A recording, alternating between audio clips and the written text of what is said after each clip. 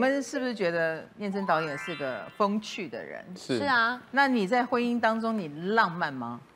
一点都不浪漫。阿雷，嗯，一点都一，都没有做过浪漫的事。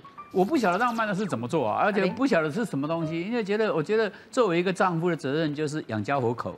啊，对哦薪水交给他是最浪漫的事。对，哎，对，没嘞，这么实在吗？真的，这样老婆也觉得 OK。老婆当然有时候会念一下，但是基本上她也是个蛮实际，护士出身，通常是很很在意哦实际状况，理科对对对嗯。那你的婚姻哲学是什么？我已经跟很多朋友讲过了，嗯，忍一时，风平浪静；退一步，海阔天空。哎呀，就是常常听到这长辈讲这句话，我对婚姻一点憧憬都没有。不是不是，因为我觉得人你你想想看，你你想想看你有时候你你人呐，要跟同样的一个人碰在一起很难呐，一定是不同样的人，嗯，对不对？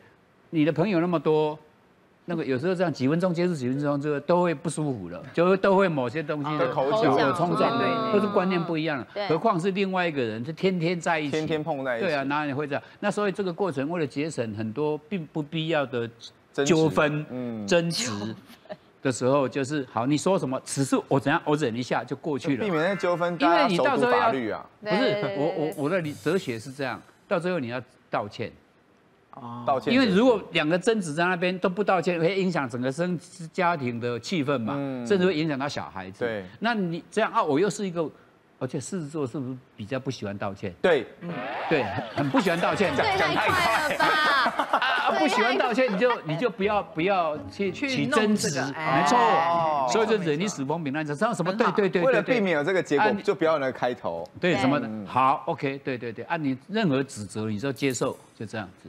我们就把三十六题停在这个舞我觉得蹈蛮不错形象最好的地方。对对对，可以可以。他是一个能忍耐的人，是的，忍了四十年不我讲。没有这样讲，你千万不要害我，没有你，哎，你这样，哎，你这个，你你害我，人家别人忍一时，他忍四十，哎，很厉害。，我没有忍是不是开玩？笑我说某些冲撞的时候，你就避一下就好了，真的是这样子。嗯